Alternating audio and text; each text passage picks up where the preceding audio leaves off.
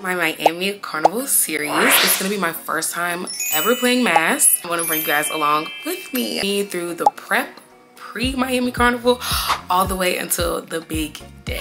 First video in this series is gonna be getting fit for Carnival. I've already been in the gym, but I found this Soca aerobics class through the NYC Soca community. It's pretty much like Soca wining dance class carnival type vibes. First thing that we're gonna do is get dressed. Let's go.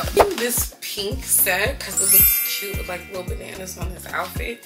This Fashion Nova set is so cozy. Plus, it can be worn as separates or together, which I Girl, if you're going to Miami Carnival, please let me know. I'm looking for people to hang out with when I get there and let's get out of here. My main focus in the gym for Miami Carnival prep has been stretching, jump roping, and strength training.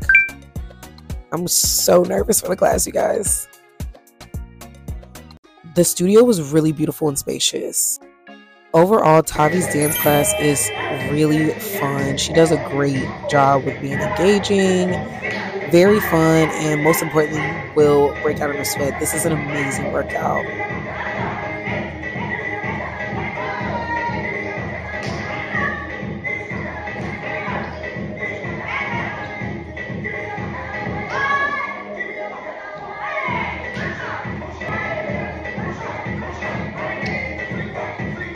So the class was actually really fun. As you can see, your girl did sweat. It was a great workout. I'm so glad I've been in the gym with my strength training though. My only thing is I wish that there was more people in the class. It was ended off the night with a nutritious salad from Sweet Green. If you guys enjoyed this Miami Carnival content, definitely stick around. There will be more videos.